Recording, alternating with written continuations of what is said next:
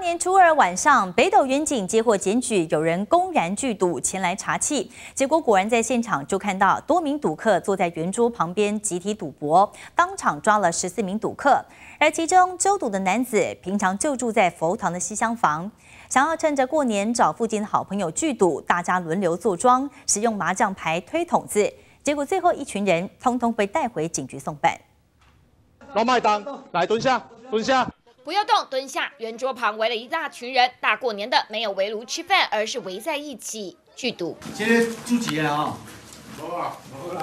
大年初二晚上，北斗远景接获情资，这处公庙前有民众公然聚赌，前往查看，庙前摆了几张圆桌，大家坐在圆桌边赌得正过瘾。看到远景到场，措手不及，面面相觑，不知道如何是好。其中揪赌的许姓男子，平常就住在佛堂西厢房，想说正过年找亲友来赌两把。招遐兄弟啊，支持主帮啦。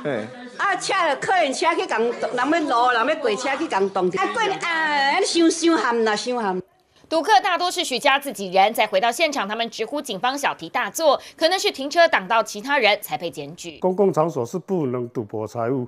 那第二个，因为他现场啊民众太多啊，所以啊就有民众反映。十四名赌客坦诚使用麻将牌以推筒子的玩法赌博财物，且大家轮流坐庄供其他人下注。不料远警半夜出击，查扣麻将牌、骰子，赌资八万多，全案依刑法赌博罪移送地检署侦办。记者戴耀茂综合报道。